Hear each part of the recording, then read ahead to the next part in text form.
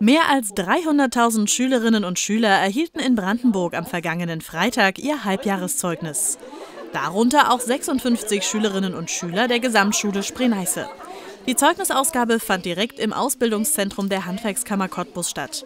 Kombiniert wurde die Feierstunde mit dem Abschluss des Projektes Praxislernen. Innerhalb von zwei Wochen probierten sich 115 Schülerinnen und Schüler in den Fachwerkstätten der Tischler, Metallbauer, Anlagenmechaniker, Elektriker, Friseure und Kosmetiker aus. Darunter auch Thalia Hölzel und Florian Janaschk. Die beiden erhielten zusammen mit ihren Klassenkameraden detaillierte Einblicke in die verschiedenen Berufe. Ich konnte mich halt in verschiedenen Berufen ausprobieren und auch herausfinden, ob ich das will oder nicht.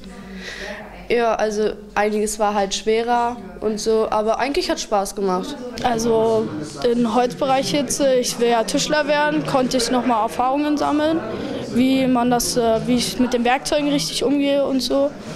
Äh, und halt, halt auch in anderen Berufen, wo man vielleicht eigentlich die nicht so gerne machen würde, hat man halt auch Spaß gehabt und konnte halt trotzdem das lösen. Der Anlass des Projekts ist aber nicht nur der steigende Fachkräftemangel und den jungen Erwachsenen das Handwerk schmackhaft zu machen, sondern zusätzlich noch ein ganz anderer. Es gibt so viele unterschiedliche Berufe und für jeden einzelnen Beruf braucht man Fertigkeiten. Und vor allen Dingen, was man braucht, ist Leidenschaft. Und Leidenschaft, die muss man entwickeln für irgendwas, was einem gut gelingt. Und deshalb ist es ganz, ganz wichtig, die unterschiedlichen Berufe kennenzulernen, welche Möglichkeiten, welche Entwicklungsmöglichkeiten es gibt. Und nur das gelingt uns, wenn die Schüler frühzeitig in die Berufsorientierung gehen um dann am Ende zu entscheiden, ich habe jetzt dies und jenes ausprobiert, das liegt mir und genau da ist die Leidenschaft und genau das möchte ich machen.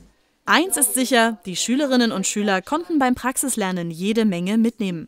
Vielleicht entscheiden sie sich am Ende der Schulzeit ja dann sogar für einen dieser ausprobierten Handwerksberufe.